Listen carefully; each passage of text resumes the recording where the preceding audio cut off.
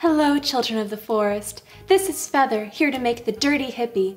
This one's great for when you're watching the sunset in the back of your VW bus.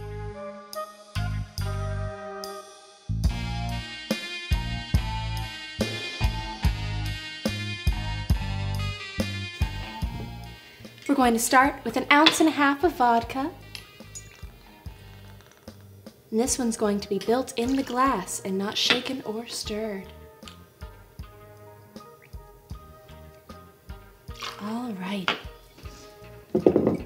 Next, three quarters of an ounce of blue carac carousel. Damn.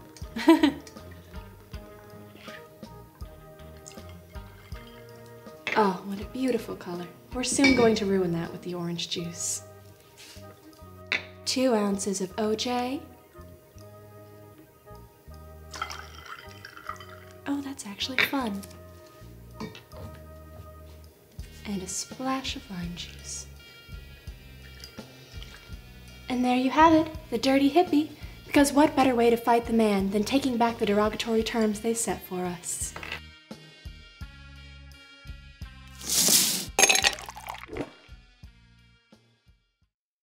Be sure to like, comment, and subscribe for more videos. We post new drink videos every Monday through Friday.